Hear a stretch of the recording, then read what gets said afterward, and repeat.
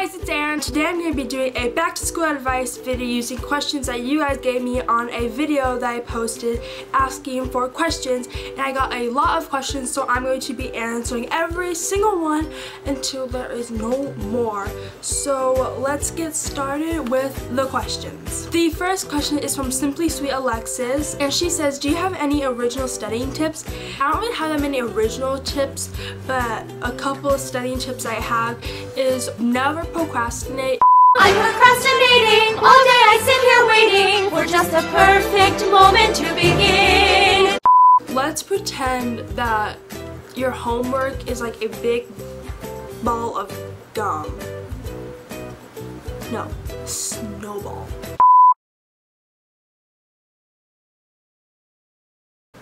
Snowball. No, snowball. No. So let's pretend your homework is a snowball. Okay, so let's say this, your homework, so, so you have a snowball, just like a little snowball, and one day you're doing your homework, so it goes downhill, and then you're doing your homework again, and you're still procrastinating, it, it goes downhill, gets bigger and bigger, and then eventually at the very end, that snowball is so big, that is how much homework you have to do, because The longer you procrastinate and like, don't turn in stuff, for example, your homework will just build, keep building. Because for me, teachers, if you don't turn in some, if you don't turn in something, they don't like deduct points.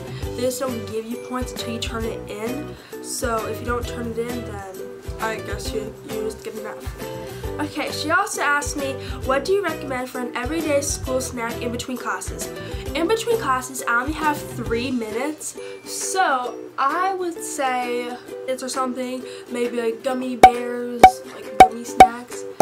Just anything like that you want that are just like that's like really small snack. Just not not like a sandwich or like a salad because also maybe pack some like little snacks in your lunchbox and then go to your locker in between classes and eat them. Also if a couple of your teachers allow you to eat in class just eat in in class. What are your favorite shoes to wear to school?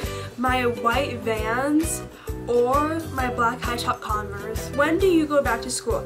I go back to school September 3rd, which is which is in less than a week. So I'm actually really excited I love school so much. And I just recently went back to my school to get my locker and stuff, and I got a top locker.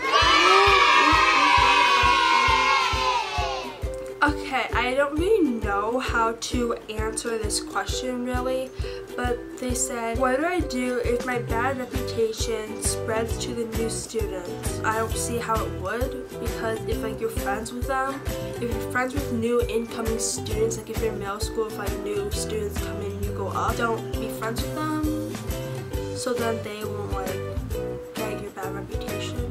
But honestly, I don't think that will happen.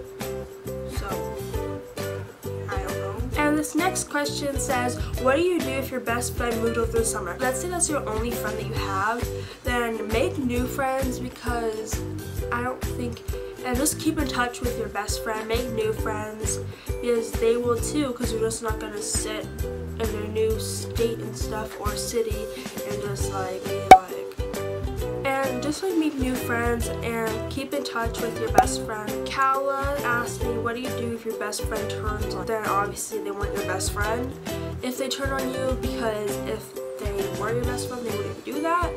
So stop being friends with them, make other friends, and just like ignore them. And the I saved the best question for last.